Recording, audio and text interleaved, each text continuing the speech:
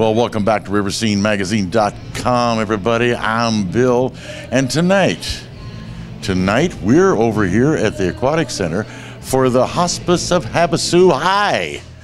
And I've got Karen and Kathy on each side. Welcome, welcome. Thank you, thank you. It's the Thank you. happening. Oh, excuse it's me. the hospice happening. It's HOH High. well, I got that right. There 1959. Grease Lightning. Woo-hoo! Go Grease Lightning. Go Grease Lightning. And that's all the further we'll go with that song. this is PG, you know. Okay. Yeah. And Out here it's PG. Yeah, out here it's PG. Out here it's PG. Yeah, Inside, we're not quite sure what's going on. Yeah, you never know what's going on. Well, you know, one of you ladies, flip a coin. Tell the folks out here what's really going on in there and why. Well, inside we have the um, Hospice of Havasu happening going on.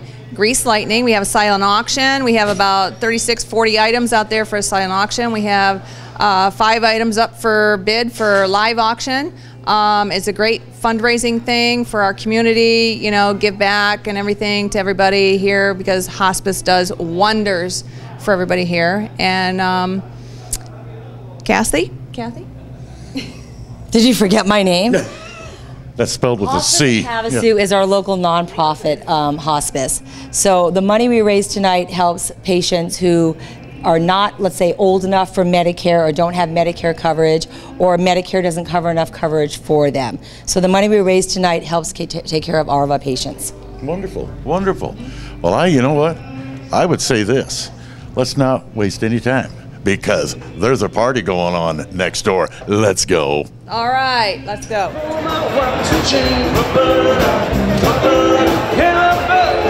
Lying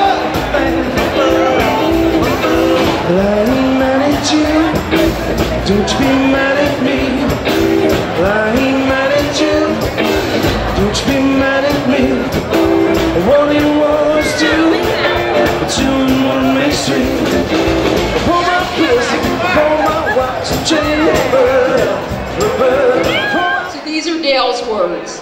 It is with deep regret that I cannot be here in person tonight to deliver a humble thank you to staff, volunteers, board of directors, and the community for the dedication and support of Hospice of Havasu.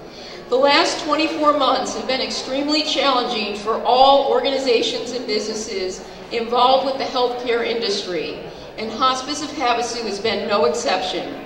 We were faced with huge deficits due to the changes in Medicare requirements, the decreases in reimbursement, and increases in regulation, while upholding our commitment to the community to help patients with life-ending illnesses regardless of their resources.